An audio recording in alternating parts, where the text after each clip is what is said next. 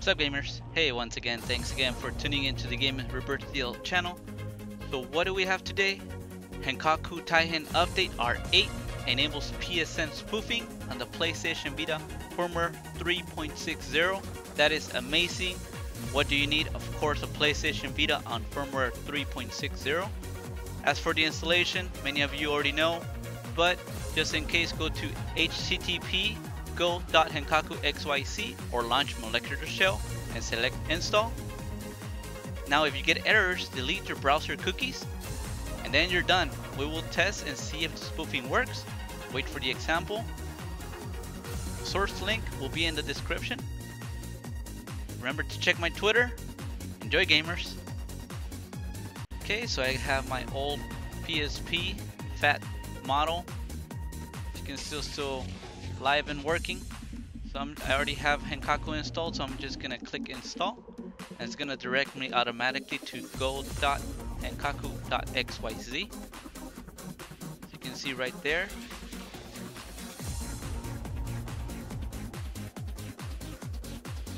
We just let it do its magic. We don't have to do anything, just go to the website and it should be done automatically. You can see this is amazing guys. Just the easiest update, easiest hack I've ever seen.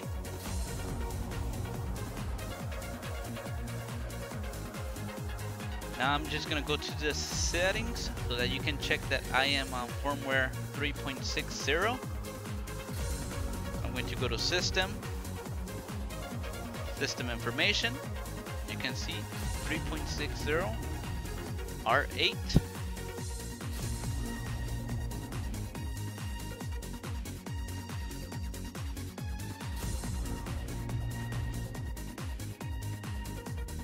Let's check the settings.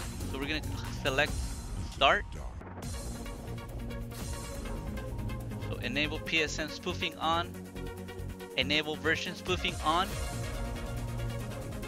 And then spoof version 3.63. We close that down. Now let's test the PS Store.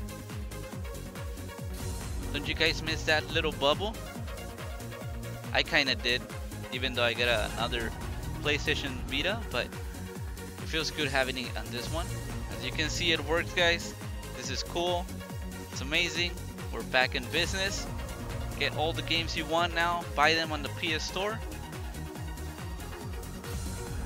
So as always, if it helped, hit like, subscribe. Gamers Rebirth out.